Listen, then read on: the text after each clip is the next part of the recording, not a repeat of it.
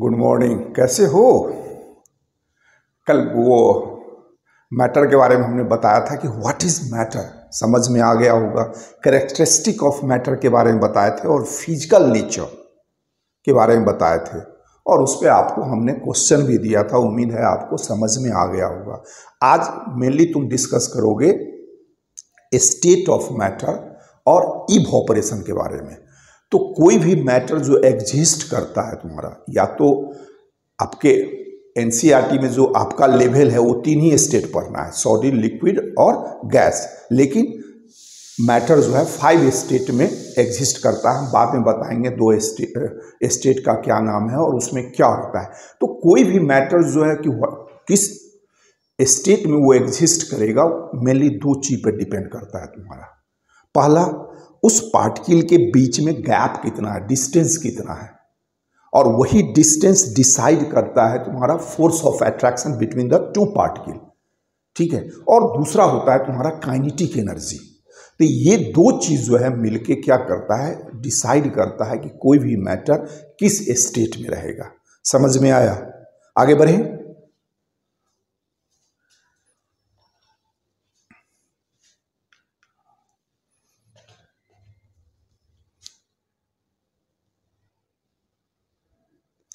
ध्यान से देखो, ये स्टेट ऑफ़ मैटर में तुमको देखो, पहला आता है सॉलिड स्टेट हमने क्या बोला? कि कोई भी मैटर का जो स्टेट होगा, वो किस अवस्था में पाया जाएगा, वो डिपेंड करता है दो चीज़ पर हमने बताया। एक, दो पार्टिकल के बीच में डिस्टेंस कितना होता है। और कल ही हमने बताया था कि कोई भी मैटर जो होता है, चाहे वो छोटा या बड़ा हो they are made up of a tiny particles उसको मटेरियल कहा जाता है। जब उसका केमिकल एनालिसिस पर होगी तो उसी को एटम कहा जाता है तो वो बात की चीज़ है, ठीक है?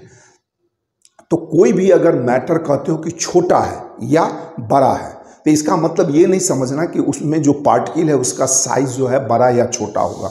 मोर और लेस हर मैटर में पार्टिकल का साइज़ एक ही होता है। अगर वो बड़ा इसलिए मैटर है क्योंकि उसमें नंबर ऑफ़ पार्टिकल ज़्यादा है। कोई अगर मैटर छोटा इसलिए है क्योंकि उसमें नंबर ऑफ़ पार्टिकल कम है। अब वो जो पार्टिकल होता है, उसके बीच में क्या डिस्टेंस है? दो पार्टिकल के बीच में स्पेस क्या है? डिस्टेंस क्या है? दूसरा, उसकी काइनेटिक एनर्जी तो ये दोनों मिलके डिसाइड करता है स्टेट ऑफ़ मैटर तो देख लो, क्या कहता है? सॉलिड स्टेट अगर आओगे तो देखो क्या कहता है? सॉलिड स्टेट में क्या होता है? दो पार्टिकल के बीच में डिस्टेंस कम होता है। तो जब डिस्टेंस कम होगा तो फोर्स ऑफ़ अट्रैक्शन क्या होगा? ज़्यादा होगा। उसके चलते क्या होता है देखो, उसका सेप डिफिनिट हो जाता है। ध्यान से देखना। सेप डिफिनिट होगा डिस्टिंक्ट बाउंड्रीज होगा। एंड फिक्स्ड वॉल्यूम होगा। दैट इज़ इसी के चलते क्या होता है? निगलिजेबल कंप्रेसिबिलिटी होता है। उसको आप प्रेस नहीं कर सकते हो। तो ये सॉलिड का स्टेट का क्या है? ये सिग्निफिकेंट कैरेक्टर है। उसका सेप भी फिक्स होगा वॉल्यूम भी फिक्स होगा रिजिड होगा और उसको कंप्रेस आप इजिली नहीं कर सकते हो। अगर सपोज़ करो, अगर आप प्रेशर देते हो फोर्स उस पर अप्लाई करते हो तो वो सॉलिड ब्रोकन हो जाता है, लेकिन उसके सेप वॉल्यूम में कोई चेंज नहीं आएगा। ठीक है? उसी तरीके से देखो, कहता है लिक्विड स्टेट में। अब देखो, यहाँ पर क्या कहता है? Have no fixed shape but have fixed volume ध्यान से देखना। यहाँ पर सेप क्या होता है? फिक्स नहीं होता है लिक्विड में, लेकिन वॉल्यूम क्या होगा? फिक्स होगा। अब किसी भी कंटेनर में लिक्विड को रखो तो उस कंटेनर का जो शेप होगा, वो शेप बन जाता है उस लिक्विड का। लेकिन उस लिक्विड का वॉल्यूम उतना ही रहेगा।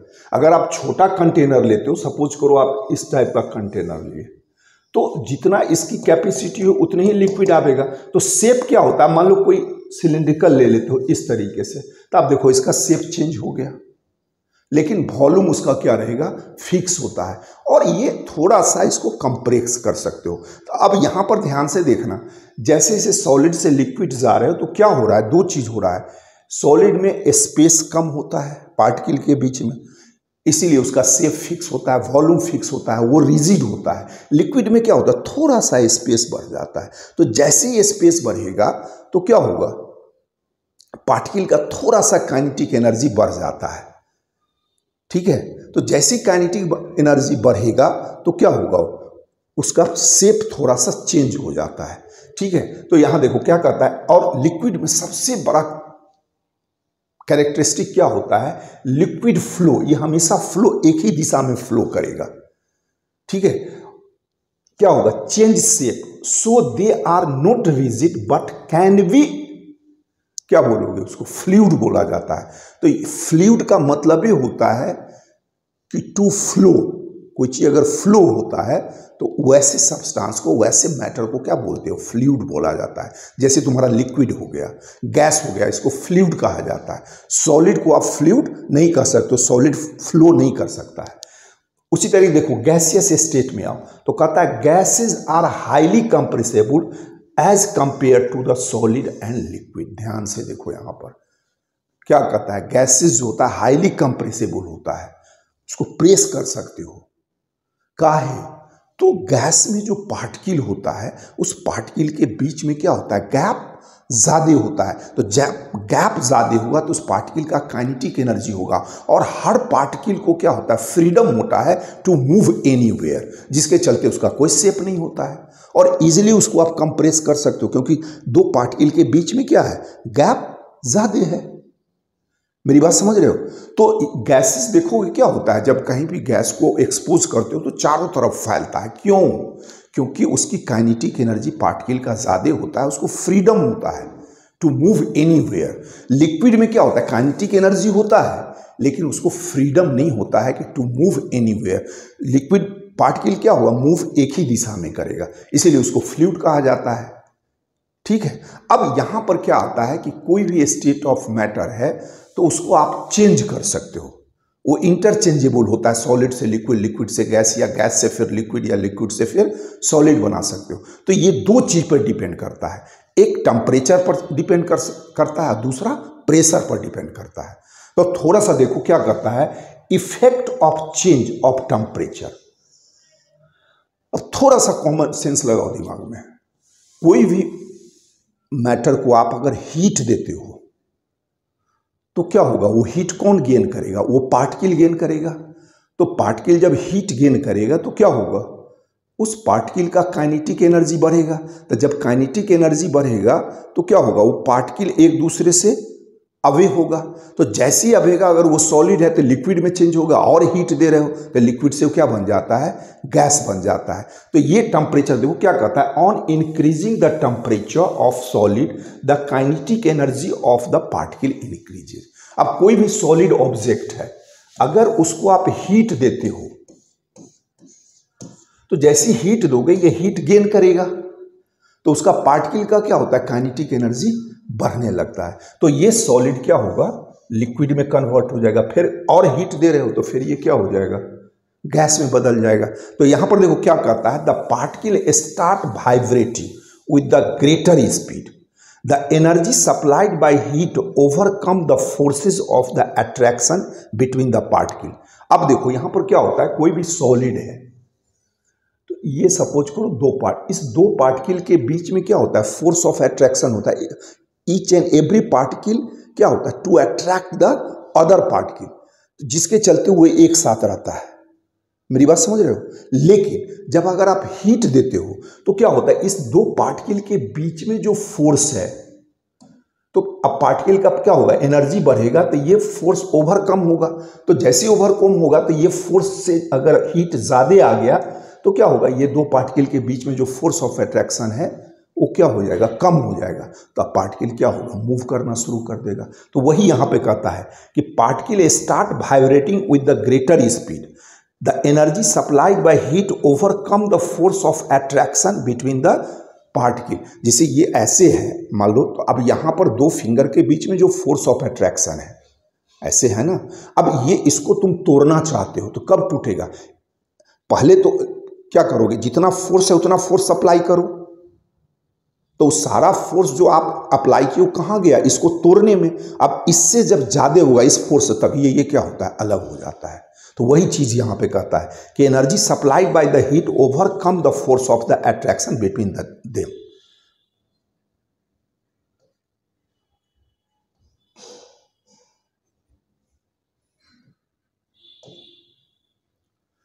अब देखो अब देखो क्या कहता है the particle leave their fix position in start moving more freely क्या होता है?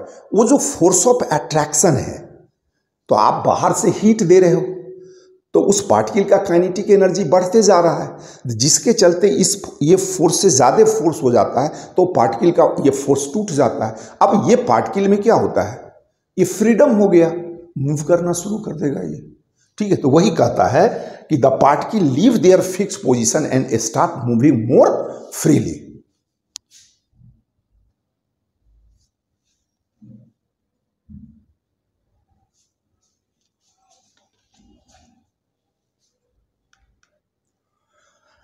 अब देखो क्या होता है, अगर आप सॉलिड को हीट देते हो टेम्परेचर बढ़ाते हो तो क्या कहता है now solid melt and is converted to a liquid क्या होगा? सॉलिड से वो लिक्विड बन जाएगा।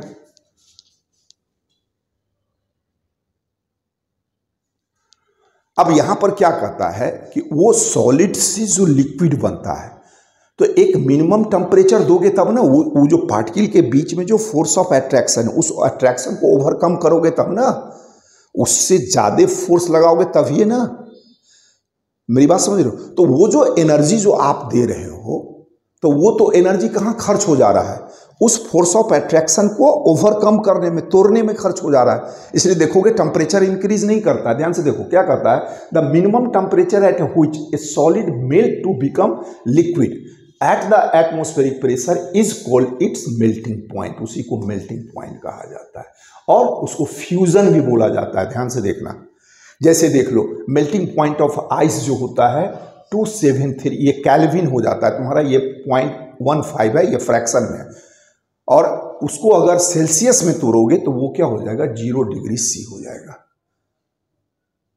तो ज़ीरो डिग्री सी पे क्या होता है? तुम्हारा वो सॉलिड जो है, वाटर जो है, तुम्हारा वो आइस क्या होता है? मेल्ट करना शुरू कर देता है। ठीक है? अब देखो क्या कहता है when solid melt its temperature remain the same so where does the heat energy go ये क्वेश्चन है, ध्यान से देखो क्या कहता है। जब कोई सॉलिड मेल्ट करता है तो मेल्ट कैसे करेगा? आप हीट दोगे तब ना। तो जब हीट आप दिए तो वो हीट क्या होता है? उस सॉलिड का टेम्परेचर नहीं बढ़ता है, लेकिन वो मेल्ट करने लगता है। तो एक्चुअली वो आपका टेम्परेचर कहाँ खर्च हो जाता है? उस फोर्स ऑफ़ अट्रैक्शन को ओवरकम करने में। उसको तोड़ने में आपका वो एनर्जी क्या होता है? खर्च हो जाता है। इसीलिए यहाँ पर कहता है कि जब वो सॉलिड मेल्ट होता है तो इस टेम्परेचर रिमेन द सेम अगर आपसे ये पूछता है कि वो जो हीट आपने सप्लाई किया तो वो हीट कहाँ गया? उस सॉलिड का टेम्परेचर क्यों नहीं बढ़ रहा है? तो जवाब क्या दोगे? कि वो जो सप्लाइड हीट था, वो कहाँ खर्च हो गया? To overcome the force of attraction between the two particles ठीक है? अब देखो, यहाँ पर दिया है आंसर देखो heat gets used up in the changing the state by overcoming the force of the attraction between the particles वो वो हीट कहाँ खर्च हो गया? ध्यान से देखो, क्या करता है? Overcoming the force of attraction between the particle वहाँ खर्च हो गया। याद रहेगा? अब देखो as this heat energy is absorb by ice without showing any rise in the temperature तो वो जो टेम्परेचर वो क्या होता है? क्योंकि उस आइस का टेम्परेचर तो बढ़ा नहीं, लेकिन वो मेल्ट शुरू हो गया। तो गया कहाँ टेम्परेचर तो उसी टेम्परेचर को कहा जाता है हीडन या लेटेंट कहा जाता है। लेटेंट का मतलब ये होता है हीडन एनर्जी ठीक है? तो आप देखो यहाँ पर क्या कहता है? The amount of the heat energy that is required to change one K G of the solid into liquid at atmospheric pressure at its melting point is known as the latent heat of the fusion या latent heat of the melting भी कह सकते हो तो कोई solid है आप उसको हीट दे रहे हो तो देखोगे जब हीट दोगे तो उस सॉलिड का देखोगे टेम्परेचर नहीं बढ़ता है मेरी बात समझ रहे हो तो सारा टेम्परेचर कहाँ जा रहा है वो हिडन है वो उस दो मोली पार्टिकल के बीच में जो फोर्स ऑफ़ अट्रैक्शन उसको तोड़ने में खर्च हो रहा है। तो वो हिडन होता है। तो हर सॉलिड का क्या होता है? लेटेंट हीट ऑफ़ फ्यूजन अलग अलग होता है तुम्हारा। जब तक उतना टेम्परेचर नहीं दोगे तो वो मेल्ट करना शुरू नहीं करता है। तो हर सॉलिड का अपना अपना कैरेक्टरिस्टिक हर का मेल्टिंग पॉइंट क्या होता है? अलग अलग होता है। क्लियर हुए? अब देखो क्या कहता है? Particle in water at zero degree zero degree zero degree celsius का मतलब अगर कैल्विन में लोगे तो कितना हो जाएगा? 273 हमेशा याद रखना, अगर कैल्विन को अगर क्या बोलते हैं, ज़ीरो डिग्री सी में लाना है तो उसमें माइनस दो से तिहत्तर कर दो। अगर सेल्सियस को कन्वर्ट करना है कैलविन में तो उसमें प्लस कर दो टू हंड्रेड सेवेंटी थ्री। मेरी बात समझ रहे हो? जिससे ये दो से तिहत्तर कैलविन जो होता है इज़ कल टू होता है ज़ीरो डिग्री सी ठीक है? तो अब ये कैसे हुआ? था इसमें माइनस क्या कर दिए दो से तिहत्तर। तब तब नहीं ये आया। है? मान लो अगर कोई कहता है कि ये 100 डिग्री सी है सेल्सियस है। इसको कैलविन में तोड़ो। तो इसमें क्या कर देना है प्लस दो से तिहत्तर जोड़ देना है। तो ये इजकल टू हो जाएगा तीन सौ तिहत्तर कैलविन हो जाएगा। हमेशा ये याद रखना, ये क्वेश्चन पूछता है। तो देखो क्या करता है particle in water at zero degree C have more energy as compare to the particle in ice at the same temperature याद रहेगा?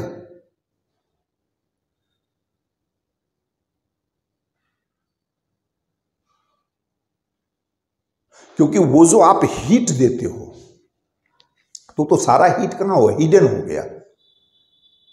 तो वो दो पार्टिकल फ्रीली मूव कब करेगा? जब वो जो फोर्स ऑफ़ एट्रैक्शन है तो वो फोर्स ऑफ़ एट्रैक्शन जब तक टूटेगा नहीं। तो जैसे टूटना शुरू हुआ तो वो सॉलिड क्या हो गया? लिक्विड में कन्वर्ट होना होना शुरू हो गया। तो अब वो लिक्विड में जो पार्टिकल आवेगा तो सॉलिड के पार्टिकल से उसका एनर्जी क्या हो जाएगा? काइनेटिक एनर्जी ज़्यादा हो जाएगा। यही यहाँ पर कहता है particle in water at zero degree C have more energy as compare to the particle in ice at the same temperature clear हुए?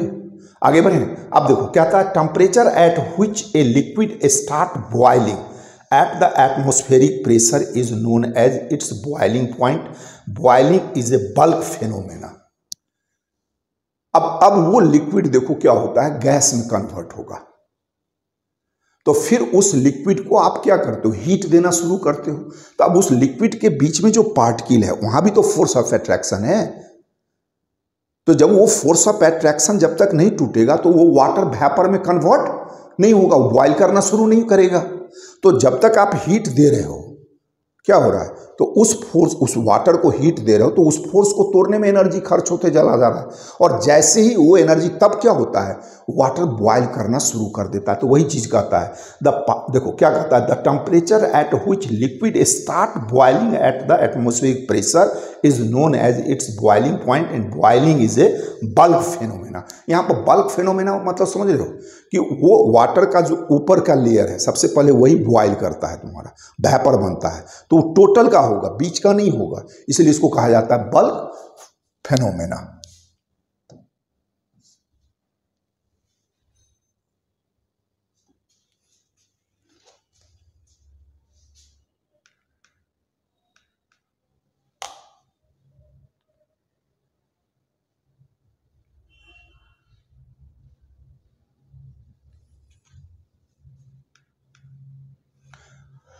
अब देखो, यहाँ पर क्या कहता है? वाटर वेपर एट 373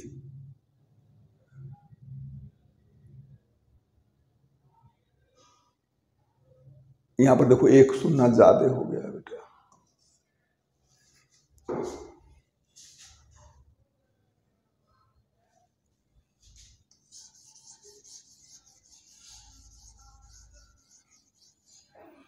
अब देखो 373 कैलविन को अगर सेल्सियस में तोड़ोगे तो हमने क्या बोला था? उसमें दो से तिहत्तर माइनस कर दो। 273 तो क्या आ जाएगा? 100 से, देखो। तो कहता है water vapour at 100 degree C या 373 have more energy than the water at the same temperature ये चीज़ समझ रहे हो कि नहीं? क्या ये कहना चाह रहा है? जैसे देखो, हम क्या बोल रहे हैं? मान लो ये लिक्विड है। ये वाटर है आपका। ठीक है? अब यहाँ पे जो पार्टिकल के बीच में जो काइनेटिक एनर्जी है, जो भी काइनेटिक एनर्जी होगा, ठीक है? अब यहाँ देखो, आपने ये हीट देना शुरू किया। तो एक्चुअली वाटर का परे हो कि बॉइलिंग पॉइंट कितना होता है? हंड्रेड डिग्री सी ठीक है? तो अभी जब तक हंड्रेड डिग्री सी नहीं होगा तो ये बॉयल करना शुरू नहीं करेगा। बल्क फनेना क्या काहे बोले? देखो, ये जो कंटेनर का जो ओपन सरफेस तो ये टोटल वाटर बॉयल करेगा। ये नहीं होगा कि बीच से करेगा, इसलिए इसको कहा जाता है बल्क फेनोमेना अब मान लो आप हीट दी जैसे हंड्रेड डिग्री सी टेम्परेचर आया तो अब क्या होगा? ये बॉयल करना शुरू कर देगा। बॉयल का मतलब क्या होता है? कि वो वाटर पार्टिकल के बीच में जो फोर्स ऑफ़ अट्रैक्शन था तो उससे ज़्यादा आप हीट दे दिए तो अब वो फोर्स ऑफ़ एट्रैक्शन को तोड़ दिया। तो अब पार्टिकल का काइनेटिक एनर्जी क्या हो गया? बढ़ गया। तो जैसे काइनेटिक एनर्जी बढ़ेगा तो दो पार्टिकल के बीच में स्पेस भी बढ़ेगा। ठीक है? तो अब वो क्या होता है? भैपर बन के निकलना शुरू हो गया। तो अब यहाँ पर क्या कहता है? ये भैपर का जो पार्टिकल है, और ये वाटर का पार्टिकल किसमें एनर्जी ज़्यादा होगा? अरे बेटा, इसमें भैपर के पार्टिकल में एनर्जी ज़्यादा होगा ना in comparison to the particle of the water जैसे वो सॉलिड से लिक्विड बना था। तो सॉलिड के कंपेरिजन में क्या होगा? वाटर पार्टिकल का एनर्जी ज़्यादा होगा। वही चीज़ यहाँ पर ये बोल रहा है। ध्यान से देखना कंफ्यूज मत होना। क्या कहता है? Water vapour at 100 degree C have more energy than water at the same temperature water के कंपेरिजन में किसका काइनेटिक एनर्जी ज़्यादा होगा? भैपर का होगा। ठीक है? अब देखो, एक आता है तुम्हारा सब्लिमेशन कहता है कि a change of state directly from solid to gas without changing into the liquid state बहुत सा मैटर होता है, वो डायरेक्टली क्या होता है? सॉलिड से गैसियस स्टेट में चला जाता है। वो without converting to the liquid तो उस प्रोसेस को कहा जाता है सब्लिमेशन और ठीक उसके उल्टा होता है डिपोजिशन देखो direct change of gas into the to the solid without changing the liquid तो उस प्रोसेस को क्या बोलोगे? डिपोजिशन कहा जाता है। क्लियर है? अब देखो, एक तो इफ़ेक्ट ऑफ़ टेम्परेचर क्या किया? स्टेट ऑफ़ मैटर के स्टेट को चेंज करता है ड्यू टू द टेम्परेचर दूसरा आता है, देख लो। Effect of the change of pressure अब यहाँ पर प्रेशर को देख लो। अब ये उल्टा होगा। अगर गैस मोलिकुल पर प्रेशर क्योंकि दो मोलिकुल्स के बीच में स्पेस ज़्यादा प्रेशर दोगे तो देखो प्रेशर दिए तो मोलिकुल्स के बीच में डिस्टेंस कम होते चला जाएगा तो वो लिक्विड बन जाएगा, और प्रेशर दो। तो डिस्टेंस और कम हो गया, क्या होगा? वो सॉलिड बन जाता है। तो ये प्रेशर और टेम्परेचर क्या होता है? रिस्पॉन्सिबल होता है to change the state of the matter तो देखो, यहाँ पर क्या करता है? Applying pressure and reducing temperature can liquefy gases जिसे परे हो गए सी होता है। कंप्रेस्ड नेचुरल गैस एलपीजी जो बोलते हो लिक्विफाइड पेट्रोलियम गैस क्या होता है? वो गैस होता है, उसको आप प्रेशराइज करके क्या करते हो? लिक्विड में कन्वर्ट कर देते हो। तो यहाँ पर दो चीज़ होता है, देखो। प्रेशर अप्लाई करते हो, जिसके चलते उसका टेम्परेचर क्या होता है? रिड्यूस होना शुरू कर देता है। टेम्परेचर रिड्यूस होने का मतलब क्या होगा? उस पार्टिकल का काइनेटिक एनर्जी कम होना शुरू हो जाता है, जिसके चलते स्पेस भी कम होता है। तो देखो अब उसका एग्ज़ाम्पल दिया देखो solid carbon dioxide is stored under the high pressure known as dry ice उसी को ड्राई आइस कहा जाता है। देखो it convert directly to gaseous state on decrease of the pressure to one atmosphere और वन एटमोसफियर का मतलब होता है one point zero one into ten power five pascal P का मतलब प्रेशर का यूनिट होता है pascal without coming into the liquid state दूसरा देखो इव ऑपरेशन पढ़ना है तुमको। देखो, ये क्या कहता है? Phenomena of changing of the liquid into the vapour at any temperature below its boiling point is called evaporation. ध्यान से देखना हम क्या बोल रहे हैं। कोई भी लिक्विड अगर वो वेपर में कन्वर्ट होता है और उसके बॉइलिंग पॉइंट से कम ही, जैसे वाटर का बॉइलिंग पॉइंट क्या होता है? हंड्रेड डिग्री से। अगर उस हंड्रेड डिग्री से कम पर ही वो अगर वेपर बनने लगता है तो उसी प्रोसेस को कहा जाता है इवॉपरेशन। क्या बोलोगे? ध्यान से फिर से देखो, क्या कहता है? Phenomena of change of a liquid into vapour at any temperature below its boiling point हमेशा याद रखना। बिलो इट्स बॉइलिंग पॉइंट कहता है। जिसे अगर वाटर से वेपर बनाते हो आप टेम्परेचर 100 डिग्री दोगे तभी है ना? तो उसको आप इवोपरेशन नहीं कहोगे। इवोपरेशन का मतलब होता है कोई भी लिक्विड का जो बॉइलिंग पॉइंट होता है, उसके नीचे ही अगर बॉइलिंग पॉइंट है और वो भैपर बनना शुरू हो जाए।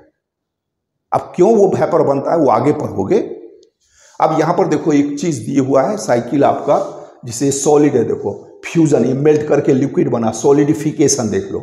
अगर लिक्विड से सॉलिड बन जाता है, फिर देखो सॉलिड से direct without liquid the sublimation gas से सब्लिमेशन सॉलिड से तो यहाँ पर भी सब्लिमेशन दिया, लेकिन इसको क्या बोलोगे?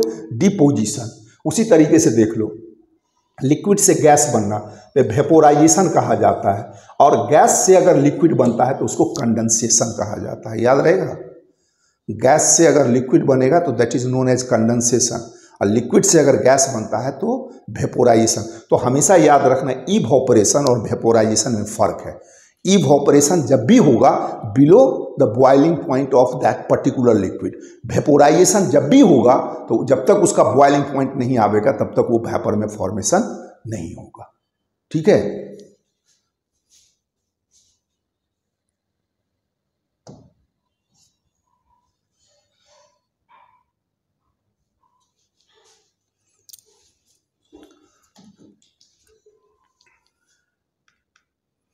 अब देख लो, यहाँ पर ये इवोपरेशन जो होता है, कहता है रेट ऑफ़ इवोपरेशन जो इंक्रीज करता है या डिक्रीज करता है तो कौन कौन से फैक्टर पर डिपेंड करता है? पहला देखो क्या कहता है and increase of the surface area actually क्या होता है? इवोपरेशन प्रोसेस भी जो होता है ना, वो सरफेस फेनोमेना होता है।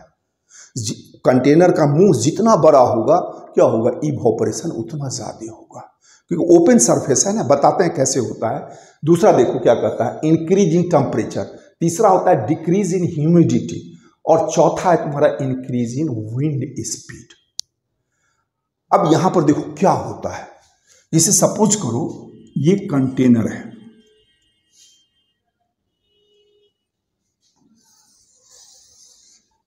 ये देखो। ये लिक्विड है। क्या होता है तुम्हारा? यहाँ पे जो पार्टिकल है whatever the kinetic energy यहाँ के पार्टिकल के काइनेटिक एनर्जी क्या होता है? थोड़ा ज़्यादा होता है, क्योंकि ऊपर है सरफेस एरिया पे। अब ये क्या करता है, देख लो सराउंडिंग से एनर्जी ले लेता है, जिसके चलते इसका काइनेटिक एनर्जी बढ़ जाता है। ठीक है? अब ये थोड़ा सा इधर से भी लेगा ये, और ये जैसी काइनेटिक एनर्जी क्या होता है? भैपर बन के निकल जाता है। तो जितना ज़्यादा सरफेस एरिया होगा, क्या होगा? इवोपरेशन उतना ज़्यादा होता है। और इसी इवोपरेशन का सबसे बड़ा जो इफ़ेक्ट होता है, वो कूलिंग इफ़ेक्ट होता है। क्यों? सराउंड को भी कूलिंग कर देता है। क्या करता है? वो जो भैपर बन के जो भागता है तो वो एनर्जी कहाँ से लेगा? सराउंडिंग से लिया। कुछ एनर्जी वाटर से, इस पार्टिकल से ले लेता है यहाँ के और तो इसके चलते यहाँ भी कूल हुआ, सराउंडिंग भी तुम्हारा कूल हो गया। ठीक है? अब देखो, अब कहता है इंक्रीज ऑफ़ टेम्परेचर तो जितना ज़्यादा टेम्परेचर यहाँ सराउंडिंग में इंक्रीज करोगे तो सराउंडिंग का टेम्परेचर ज़्यादा होगा, ये टेम्परेचर यहाँ से ले लेगा. तो भैपर का फॉर्मेशन क्या होगा? ज़्यादा होगा तुम्हारा. दूसरा देखो, कहता है डिक्रीज इन ह्यूमिडिटी अब यहाँ पर जो होता है तुम्हारा, ये जो भैपर जो सराउंडिंग में जाता है तो कितना भैपर जाएगा वो डिपेंड करता है कि बाहर मॉइस्चर कितना है. अगर सपोज़ और जो सराउंडिंग में मॉइस्चर होता है तो उसकी कैपेसिटी क्या होता है? फिक्स होता है, जिसको कहते हैं ह्यूमिड सीज़न जो बहुत ज़्यादा मॉइस्चर है। तो जब बहुत ज़्यादा मॉइस्चर एयर में है तो एयर की भी कैपेसिटी होता है, उससे ज़्यादा वो मॉइस्चर को रख नहीं सकता है। तो अगर मॉइस्चर ज़्यादा है बाहर टेम्परेचर कितनों बढ़ाओगे सरफेस एरिया कितनों ज़्यादा करोगे इवोपरेशन नहीं होगा। अगर बाहर मॉइस्चर कम है, तभी नहीं ये भागेगा। तो बाहर जितना ह्यूमिडिटी कम होगा इवोपरेशन क्या होगा, ज़्यादा होगा। मेरी बात समझ रहे हो? दूसरा देखो क्या कहता है। इंक्रीज इन विंड स्पीड आप देखो यहाँ पर विंड स्पीड क्या होता है। ये अगर यहाँ पर एयर ब्लो ज़्यादा कर रहा है तो क्या होगा? इस सराउंडिंग का मॉइस्चर जो है ना, यहाँ से हटेगा। तो इसके चलते ये मॉइस्चर क्या होगा? ई इवोपरेशन ज़्यादा होगा तुम्हारा। कभी कभी देखते हो क्या होता है? आप खेल के आते हो। और जैसे पंखा के नज़दीक बैठते हो तो आपको कूलिंग आता है। क्या होता है? आपका जो पसीना है, वो भैपर बन के निकलना शुरू करता है। तो पंखा क्या करता है? वहाँ जो सराउंडिंग में जो मॉइस्चर है, उसको हटाना शुरू कर देता है। आप कभी कभी देखते हो रेनी सीज़न में। क्या होता है? कोई भी कपड़ा को फैला के, को सुखाते हो। या कभी कभी क्या हो, दो छोर पकड़ के ऐसे ऐसे करते हो। ये ऐसे ऐसे करने से क्या होता है? विंड स्पीड अब ऐसे ऐसे करोगे तो उस सराउंडिंग में जो मॉइस्चर है, वो हटेगा तो आपके क्लॉथ से क्या होगा? इवोपरेशन बढ़ जाएगा। तो ये तीन चीज़ तुमको याद रखना देखो increase of surface area increase of temperature decrease in humidity and increase in wind speed ठीक है? अब यहाँ पर देखो क्या कहता है कि how does evaporation causes cooling कैसे कूलिंग कॉज करता है? तो देखो क्या कहता है। The particle of the liquid absorb energy from the surrounding क्या करता है? सराउंडिंग से टेम्परेचर को लेता है हीट को लेता है। To regain the energy loss during the evaporation क्योंकि इवोपरेट होने के लिए उसको एनर्जी चाहिए। तो वो लूज करेगा, तभी ना इवोपरेट होगा। तो कहाँ से लेता है? सराउंडिंग से ले लेता है, जिसके चलते सराउंडिंग का टेम्परेचर क्या होता है? कम हो जाता है। ठीक है? अब देखो इट मेक कूल सराउंडिंग अब इसी पे देखोगे, बहुत सा क्वेश्चन पुटअप होता है तुम्हारा। Why should you wear cotton cloth in a summer गर्मी के समय में अब कॉटन क्लॉथ क्यों पहनते हो? कॉटन क्लॉथ क्या करता है? मॉइस्चर को, आपके स्वेटिंग को एब्जॉर्ब करता है। एब्जॉर्ब करके क्या करता है? बाहर ला देता है। तो जिसके चलते क्या होता है? इवोपरेशन रेट ज़्यादा होता है। तो जैसे इवोपरेशन होता है, आपके बॉडी से वो हीट लेके निकलेगा तो आपको कूल फील होता है। दूसरा देखो क्या करता है? Why do you see water droplet on the outer surface of a glass containing ice cold water? वही रीज़न देना है तुम्हारा। अब कोई कंटेनर में आइस रखते हो तो वहाँ तक टेम्परेचर कम हो जाएगा ना। सराउंडिंग में टेम्परेचर ज़्यादा होगा। तो वो सराउंडिंग का वाटर क्या होता है? वहाँ पर मॉइस्चर में कन्वर्ट हो जाता है। ठीक है? तो इस तरीके से देखोगे बहुत सारे, जैसे देखोगे कि वो हॉट माने क्या कहते हैं? हॉट सीज़न में जो है कूलर बहुत ज़्यादा काम करता है। क्यों? क्योंकि हॉट में क्या होता है? हॉट सीज़न में बाहर मॉइस्चर कम रहता है। तो आपका कूलर ज़्यादा इवोपरेट करता है। तो जब ज़्यादा इवोपरेशन होगा तो उस सराउंडिंग का क्या करेगा? टेम्परेचर लेके वो वेपर बन के निकल जाएगा, जिसके चलते वो रूम क्या रहता है? ठंडा रहता है। लेकिन वही देखोगे रेनी सीज़न में। तो रेनी सीज़न में क्या होता है? मॉइस्चर कंटेंट एयर का ज़्यादा रहता है तो कूलर आपका काम नहीं करता है। क्यों? क्योंकि इवोपरेशन हो भी नहीं करता है। क्योंकि उस समय क्या होता है? ह्यूमिडिटी बढ़ जाता है। तो जब ह्यूमिडिटी बढ़ेगा तो इवोपरेशन रेट क्या होता है? कम हो जाता है। ठीक है? और हमने जो आपको बताया था कि मैटर का स्टेट जो थ्री आप ही जो पढ़े हो आप, सॉलिड, लिक्विड गैस जो आपको एनसीईआरटी में दिया है, फाइव स्टेट देखो ये प्लाज्मा होता है, और दूसरा देखो, ये सॉरी, फोर्थ स्टेट और फिफ्थ जो होता है बोस आइंस्टीन कंडेंसेट। तो ये प्लाज्मा जो होता है, तुम्हारा ये क्या होता है? आयोनाइज्ड होता है। तो इस, इसमें क्या होता है? पार्टिकल का काइनेटिक एनर्जी बहुत ज़्यादा होता है। तो ये फ्लोरेसेंट बल्ब सब जो आता है, तुम्हारा हीलियम का या नियोन का तो वो प्लाज्मा है। आजकल देखोगे प्लाज्मा टीवी भी आ गया है तुम्हारा। ठीक है? तो इसके बारे में नहीं, थोड़ा सा जानना था। इस तरीके से देखोगे, मैटर का फाइव स्टेट हो जाता है तुम्हारा। Solid liquid gas plasma and Bose Einstein condensation इसमें क्या करना है? आपके एनसीईआरटी को क्वेश्चन को बनाना है, ठीक है? और क्लियर कंसेप्ट लेना है। और एक भी कंसेप्ट अगर डेवलप कर लेते हो तो ऑटोमेटिक देखोगे आपको उसका आंसर बनना शुरू हो जाता है। इवॉपरेशन को सरफेस फेनोमेना क्यों कहा जाता है? इवॉपरेशन किस किस चीज़ पर डिपेंड करता है? तो देख लो। ठीक है? तो इस तरीके से तुम्हारा ये फ़र्स्ट चैप्टर खत्म हुआ। नेक्स्ट हम आपको सेकेंड और आप लोग कम बच्चा जुटते हो, ज़्यादा बच्चा जुटो। और अगर आपको स्लाइड अच्छा लगता है तो प्लीज़ आप लोग भी लाइक करो सब्सक्राइब करो और मित्रों के बीच में भी फैलाओ। और थोड़ा सा सब्सक्रिप्शन को बढ़ाइए। बाय